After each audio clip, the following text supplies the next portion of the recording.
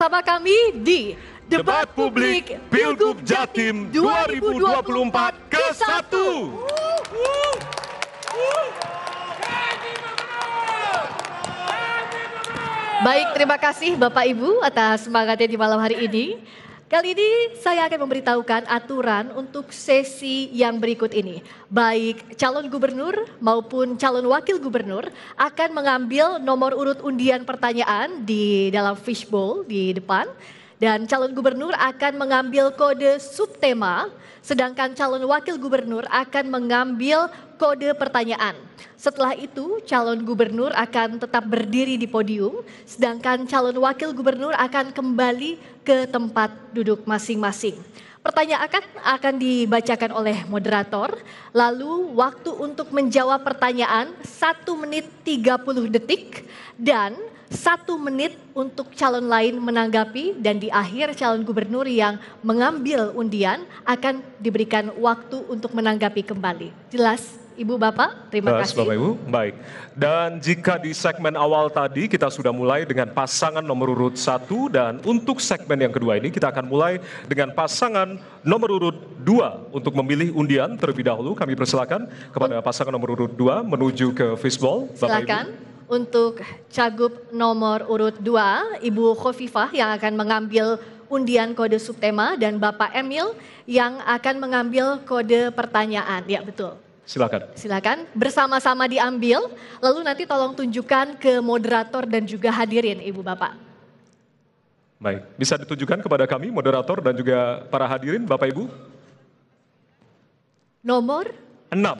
Baik. nomor 6 Nomor 6 kode pertanyaan 6C. C, 6C, Baik. silahkan dimasukkan ke fishbowl kosong di Fishbowl bawah. tengah, Ibu, di fishbowl bawah. kosong di bawah Ibu Bapak. Baik. Nah, silakan Ya. dimasukkan. Dan kami silakan untuk Ibu Kofifa di podium dan Bapak Emil kembali ke tempat. Baik. Baik. Dan saya ingatkan kepada Bapak Ibu, pasangan calon, bahwasanya untuk bisa mendengarkan secara seksama pertanyaan, karena tidak akan kami ulangi. ya. Dan untuk pasangan nomor urut 2 adalah pertanyaan 6C. C, 6C. ya. Baik. Masih tersegel Bapak Ibu ya, masih tersegel untuk amplopnya. Kita akan buka dan terjamin kerahasiaannya.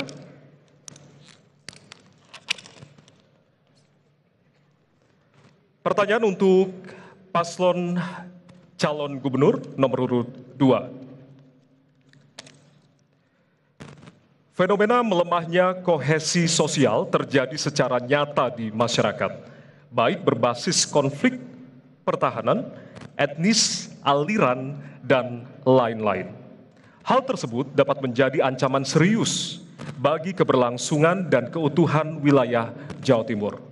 Pertanyaannya, apa upaya dari paslon untuk memperkuat kohesi sosial yang efektif bagi keberlangsungan dan keutuhan masyarakat? Waktu Anda menjawab satu setengah menit atau satu menit 30 detik dihitung saat mulai Ibu berbicara. Silakan Ibu. Eh, Baik, terima kasih. Tentu kami ingin mengawali bahwa kohesivitas sosial di Jawa Timur relatif sangat baik karena berbagai komunitas-komunitas memiliki kegiatan yang memiliki interaksi cukup intensif. Ormas-ormas juga memberikan satu siraman kebersamaan di antara seluruh anggota-anggota organisasinya dan itu terus terbangun dengan berbagai macam kegiatan yang mereka lakukan. Eh, Misalnya kalau kegiatan di keagamaan ada pengajian, ada salawatan dan terus dilakukan bagaimana sebetulnya kegotong royongan bisa ditumbuh kembangkan di bumi Mojopahit ini. Tetapi bahwa kita harus melihat realitas bahwa makin hari gadget begitu menguasai kehidupan keseharian masyarakat. Oleh karena itu, mereka yang mungkin banyak sekali terpandu oleh gadget, ini yang harus diajak berkomunikasi bahwa mereka membutuhkan interaksi dengan sesama manusia tidak sekedar secara digital. Sehingga ekosistem digital harus tetap diberseiringi bagaimana sesungguhnya masyarakat memahami bahwa manusia bukan makhluk soliter.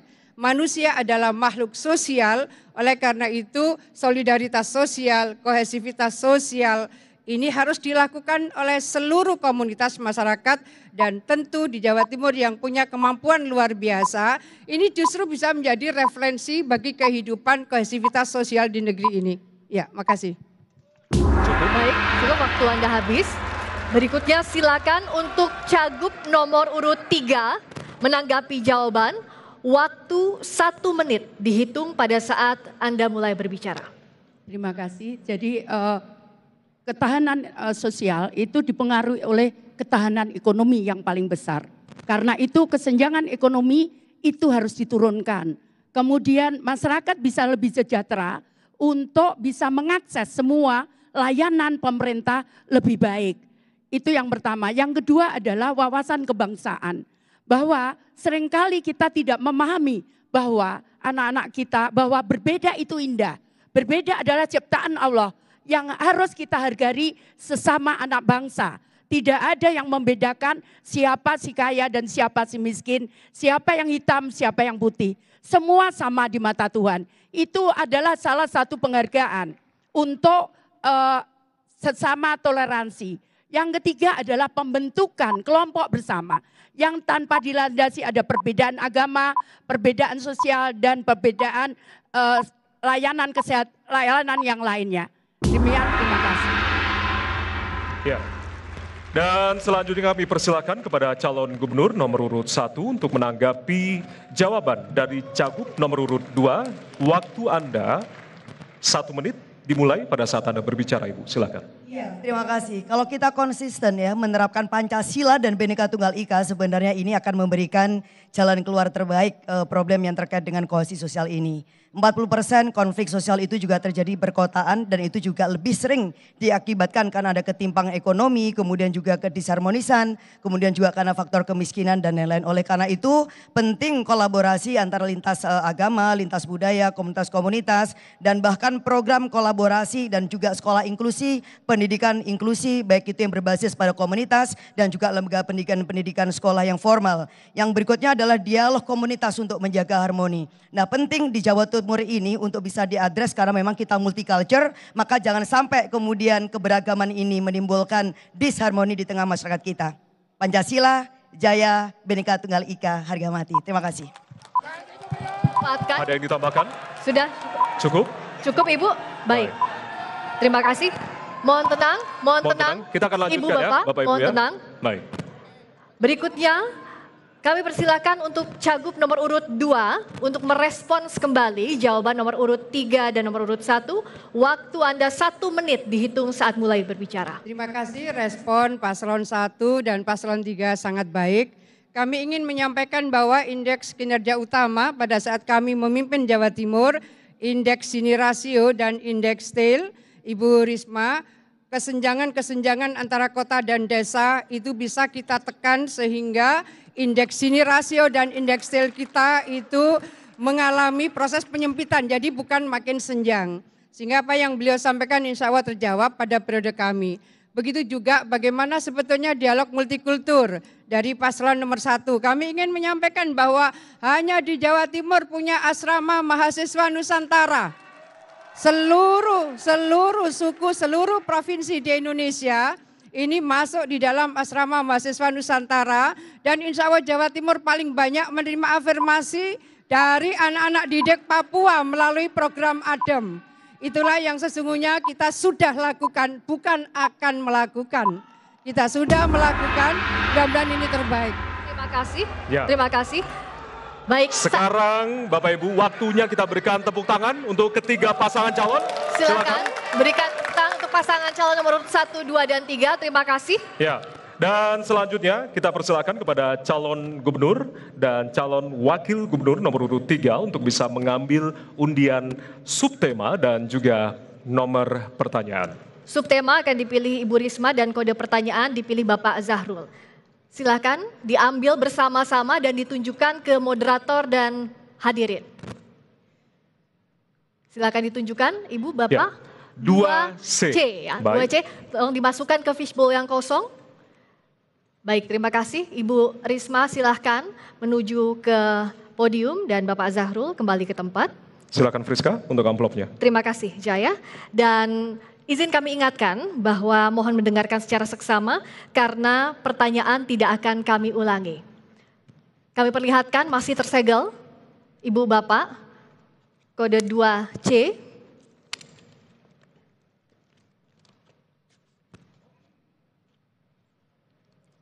Pertanyaannya adalah, pendidikan karakter merupakan investasi jangka panjang yang sangat penting untuk masa depan bangsa dalam mencetak generasi muda yang berkualitas, berkarakter, dan mampu menghadapi tantangan zaman. Pertanyaannya, bagaimana komitmen dan upaya paslon meningkatkan pendidikan karakter bagi generasi muda di Jawa Timur? Waktu 1 menit 30 detik untuk menjawab saat Anda mulai berbicara. Terima kasih. Uh, jadi untuk pendidikan berkarakter itu harus dimulai sejak anak usia dini. Di mana mereka pertama hormat kepada orang tuanya. Kemudian yang kedua adalah menghargai sesama teman itu harus diajarkan mulai sejak anak usia dini. Meskipun saya tahu bahwa uh, provinsi hanya mengelola anak SMA, SMK setara seder, setar, sederajat. Tapi itu bisa diajarkan pula oleh para guru-guru agama di mana para guru agama itu bisa me menyampaikan bahwa kesetaraan itu adalah keniscayaan. Kalau itu terjadi, kemudian anak-anak belajar tentang disiplin, belajar tentang masa depan, maka anak-anak kita diajarkan pula tentang integritas, maka kita tidak akan takut untuk masa depan anak-anak kita karena bukan hanya bukan hanya mereka punya etos kerja yang tinggi, tapi yang utama juga mereka mengerti bahwa semua yang ada di sini itu adalah ciptaan Tuhan. Karena itu dan menghargai bahwa masa depan mereka bukan hanya di dunia saja. Kemudian kesetaraan uh, sesama pelajar itu menjadi penting. Terima kasih. Ada yang ditambahkan? Cukup? Sudah cukup? Baik. Terima kasih. Ya, dan selanjutnya kami persilakan kepada calon gubernur nomor urut 1 untuk bisa menanggapi jawaban dari Cagup nomor urut 3. Waktu Anda satu menit dimulai pada saat Anda berbicara. Silakan. Ya, terima kasih. Jadi pendidikan karakter itu bisa dimulai dari keluarga, komunitas, sekolah, dan bahkan di lingkungan kerja.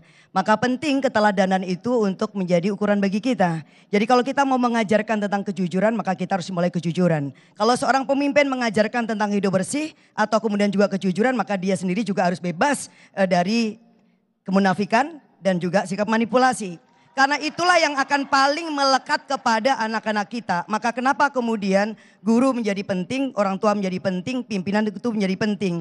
Nah yang kedua bahwa karakter itu juga menciptakan sikap atau afeksi yang paling penting. Kecerdasan koneksi itu memang penting tetapi kecerdasan hati, kecerdasan rasa itu juga jauh lebih penting. Bagaimana anak mencintai alam, mencintai manusia, mencintai Tuhan, mencintai kejujuran itu penting. Sekarang ini kita krisis etika, maka penting pendidikan karakter itu sejak awal kita terapkan kepada anak-anak kita. Thank you. Makasih. Ada waktu mau ditambahkan atau cukup? Cukup. Cukup. Baik. Baik. Terima kasih. Ya, mohon tenang, mohon tenang Bapak Ibu. Kita lanjutkan ya. Baik, berikutnya kami persilakan Cagup nomor urut 2 untuk menanggapi jawaban Cagup nomor urut 3. Waktu Anda satu menit dihitung pada saat berbicara. Baik, uh, terima kasih. Kami sepakat dengan paslon nomor 1 dan 3 karena pada dasarnya kami sudah memberikan BOP PAUD. Jadi sejak usia dini Pemprov Jawa Timur sudah memberikan BOP PAUD selama ini se-Jawa Timur tentu dengan partnership dengan kabupaten kota. Dan kedua, kami ingin menyampaikan bahwa pada periode pemerintahan kami, kami memberikan Bosda Madin karena pendidikan karakter antara lain setelah mereka selesai sekolah SD, mereka banyak yang kemudian melanjutkan sekolah Madin.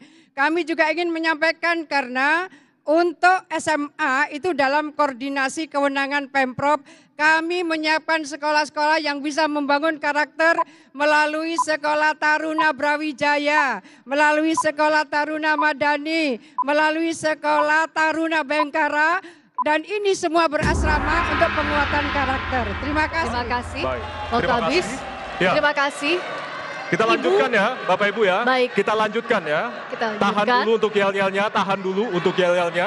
Kita akan lanjutkan ke paslon berikutnya. Baik, tahan Ibu dulu, Bapak, mohon, mohon kerjasamanya tenang. Bapak Ibu. Ibu Mohon Bapak mohon kerjasamanya, tenang. ya. Dan Baik. kami izin ingatkan kembali saat para pasangan calon sedang berbicara, mohon kita hargai bersama dan mendengarkan dengan baik. Ada waktunya kita untuk memberikan tepuk tangan. Kita sepakat ya Ibu Bapak ya. Semangat ya Bapak Ibu ya. Terima Baik. kasih atas kerjasamanya. Ya, dan selanjutnya kita akan persilakan kembali calon gubernur nomor urut 3 untuk merespon kembali tanggapan dari cagup nomor urut 1 dan 2. Silakan Ibu. Ya, eh, tanggapan dari calon nomor satu dan dua itu bagus. Namun saya ingin menyampaikan bahwa eh, semua semua yang ada di pada anak itu adalah hasil kita menulis mereka di dalam kertas putih. Karena itu apa yang kita lakukan atau apa yang kita berikan itu akan ditiru oleh anak-anak kita. Karena itu pendidikan pendidikan karakter itu bukan hanya masalah soal bagaimana mereka eh, bisa menghargai orang lain, tapi bagaimana mereka bisa maju. Nah, dorongan ini adalah kesempatan untuk mereka berpikir bahwa mereka akan bisa maju kalau mereka mendapatkan pendidikan yang layak, kalau mereka mendapatkan peluang yang sama, semua saja. Eh, bahkan bukan hanya anak yang mempunyai intelijensi eh, intelektual, tapi mereka yang punya olahraga kecerdasan di olahraga, kecerdasan di kesenian, maka mereka harus diberikan ruang yang sama. Terima kasih Ibu, silakan untuk kembali ke tempat. Waktunya memberikan tepuk tangan untuk seluruh pasangan calon, silakan. Baik, terima kasih, terima kasih Ibu Bapak, terima kasih. Berikutnya kami persilakan Cagup dan Cawagup nomor urut 1 untuk mengambil nomor subtema dan juga kode pertanyaan silakan di fishbowl. Kami persilakan kepada Ibu Lulu, Ibu Lulu dan nanti juga akan Bapak mengambil subtema Lukman, ya. sementara Bapak Lukman akan mengambil kode pertanyaan. Silakan diambil bersama-sama. dan ditunjukkan kepada moderator serta para hadirin, Bapak Ibu. Silakan. Ya, untuk subtema 3 3C. C, 3C. Baik, 3C Friska. baik. Kami ambil 3C. Ya. Amplop masih tersegel, Bapak Ibu. Silakan. Untuk Ibu di depan podium, Bapak silakan kembali ke tempat. Ya. Pertanyaan untuk amplop 3C kepada pasangan nomor urut 1. Penyakit KJSU atau kanker, jantung, stroke, dan uronefrologi atau penyakit ginjal sudah ditetapkan sebagai penyakit prioritas nasional. Hasil survei kesehatan Indonesia pada tahun 2023, Jawa Timur menduduki peringkat 6 untuk kanker jantung dan stroke. Sedangkan penyakit ginjal di peringkat 15. Pertanyaannya, bagaimana program paslon untuk menekan kejadian dan meningkatkan layanan KJSU di Jawa Timur? Waktu Anda 1 menit 30 detik dimulai pada saat Anda berbicara Ibu. Silakan. Ya, pertama yang paling penting adalah pencegahan. Bagaimana kita bisa mengutamakan pola hidup yang sehat sehingga orang bisa menjaga kesehatan dengan baik dan mencegah sejak dini, sejak dini sehingga tidak ada serangan-serangan penyakit yang berbahaya. Yang kedua adalah yang terkait dengan kemudahan untuk melakukan screening sejak awal. Maka semestinya di puskesmas-puskesmas di Jawa Timur juga diberikan fasilitas yang bisa mendeteksi di sini adanya gangguan baik itu jantung, kanker dan lain sebagainya. Oleh karena itu, pemerintah Provinsi Jawa Timur harus punya tekad bahwa ini harus diadres melalui kebijakan anggaran. Yang kedua, kita harus memberikan pelatihan kepada tenaga medis sehingga mereka bisa memberikan tindakan yang tepat termasuk kemudian di rumah sakit rumah sakit pemerintah khususnya yang ada di daerah-daerah terpencil harus diberikan fasilitas yang sangat memadai khususnya agar layanan kesehatan yang terkait dengan penyakit yang jantung kemudian juga kanker ini bisa diselesaikan dengan baik. Yang kedua, Yang ketiga kami akan memberikan beasiswa afirmasi agar di daerah-daerah yang khususnya seperti di Madura dan di daerah terpencil kita lebih banyak lagi bisa menghasilkan dokter-dokter spesialis yang bisa mengadres isu kesenjangan agar penyakit jantung kemudian juga yang terkait dengan kanker ini bisa diatasin karena problem kita antara lain juga karena ketersediaan dokter dan juga tenaga medis yang memadai untuk mengadres isu ini. Terima kasih. Masih ada waktu mau dimanfaatkan? Terima kasih. Cukup? Baik. Baik. Terima kasih. Ya. Berikutnya. Dan selanjutnya kita persilakan kepada calon gubernur. Mohon, Mohon tenang, tenang. Bapak Ibu ya, kita akan lanjutkan. Calon gubernur nomor urut 2 untuk bisa menanggapi jawaban dari cagup nomor urut 1. Eh, baik. Waktu kasih. Anda. Ya. Baik, silakan Ibu. Sebetulnya Pemprov Jawa Timur sudah mengirim perawat di semua desa di seluruh Jawa Timur. Semua desa. Jadi semua ponkesdes, semua ponkesdes akan didampingi oleh perawat yang dikirim oleh Pemprov Jawa Timur, seluruh Jawa Timur. Dan berikutnya, karena ini sistemnya adalah digital, maka sesungguhnya sejak awal kami, saya dan Mas Emil memimpin Jawa Timur, kita meluncurkan edesi. Jadi bagaimana sesungguhnya masyarakat bisa melakukan deteksi dini. Tetapi kami juga menyiapkan stroke center di Sutomo dan rumah sakit tipe A Pemprov Jawa Timur, kemudian jantung center ini baru dan kemudian onkologi center, bahkan Mas Emil pun di Trenggalek juga menyiapkan stroke center. Artinya upaya-upaya promotif dan upaya rehabilitatif insya Allah kami sudah menyiapkan, tetapi kita tentu berharap masyarakat Jawa Timur sehat. Terima kasih. Baik, mohon tenang. Terima kasih, Ibu Bapak, terima kasih. Mohon tenang terlebih dahulu. Tenang, Bapak, Kita akan Ibu. lanjutkan. Mohon tenang, terima kasih. Mohon tenang terlebih dahulu, Ibu Bapak, terima kasih. Kita lanjutkan. Berikutnya kami persilakan untuk Cagup nomor urut 3 menanggapi jawaban dari nomor urut 1. Waktu Anda satu menit dihitung pada saat berbicara. Yang pertama kami akan memberikan UHC, Universal Health Coverage untuk seluruh Jawa Timur, jadi kesehatan gratis. Yang kedua, di, eh, di tiap Bakorwil kami akan memberikan tempat untuk rujukan untuk penyakit jantung, kemudian penyakit otak dan eh, penyakit kanker. Kenapa? Karena itu dibutuhkan dokter yang akan nanti berputar di lima Bakorwil di Jawa Timur. Yang ketiga adalah kami akan memberikan beasiswa untuk para dokter dokter yang akan karena dari data yang ada dokter untuk spesialis spesialis jantung dan kemudian stroke kemudian itu sangat kurang karena itu kami akan memberikan beasiswa untuk para dokter-dokter yang akan me- me- mendapatkan pendidikan spesialis dan mereka akan mau tinggal di Bakorwil-Bakorwil tadi. Kemudian yang ketiga adalah memberikan tempat untuk pembangunan itu di daerah yang paling cepat. Waktu Terima Anda kasih. habis. Baik, terima kasih. Ya, dan selanjutnya Baik, mohon tenang Ibu Bapak, mohon kerjasamanya terima kasih. Baik, kita akan persilakan kepada calon gubernur nomor urut 1 untuk bisa menanggapi kembali jawaban dari calon gubernur nomor urut 2 dan 3. Waktu Anda satu menit Ibu, dimulai dari sekarang. Ya, terima kasih Ibu Khofifah karena Ibu sudah gubernur lima tahun ke belakang. Seharusnya angka resiko dan kematian dari KCSU ini tidak terjadi kalau Ibu itu benar-benar serius menangin kasus ini.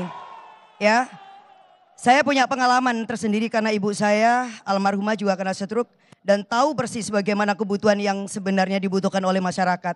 Maka penting adanya dokter spesialis yang kita tempatkan di berbagai rumah sakit-rumah sakit pemerintah, khususnya yang jauh dari kota, rumah sakit yang ada di daerah remote, yang ada di kepulauan seperti di Madura, kemudian di daerah Pacitan, kemudian juga di daerah Mataraman dan juga di Tapal Kuda. Dan terima kasih untuk Ibu Risma karena program Ibu ternyata nggak jauh beda dengan saya, yaitu memberikan afirmasi eh, beasiswa untuk jurusan kedokteran khususnya spesialis KJSU ini. Ini harus menjadi prioritas bersama sehingga ke depan Jawa Timur tidak lagi juara kematian karena kanker jantung dan juga stroke, tetapi sebagai provinsi yang sehat dan membahagiakan. Terima kasih. Baik. Terima kasih. Bapak Ibu silahkan berikan tepuk tangan Tepuk tangan yang meriah meriah untuk ketiga paslon, silakan. untuk paslon nomor 1, 2, dan Iya. 3 di sesi debat antar calon gubernur. Ya. Baik, terima kasih. Baik, tentunya ini tidak kalah serunya Friska. Betul. Karena di segmen selanjutnya kita akan dengarkan bagaimana para Ya. calon wakil gubernur Ya. nanti tentunya akan menjawab pertanyaan dari para panelis tentunya ya. Betul sekali Jaya dan berikutnya kita akan menjelang ke sesi debat antar cawagup tapi jangan ke mana-mana Ya. usai jeda tetap bersama kami di debat publik Pilgub Jatim 2024 ke 1.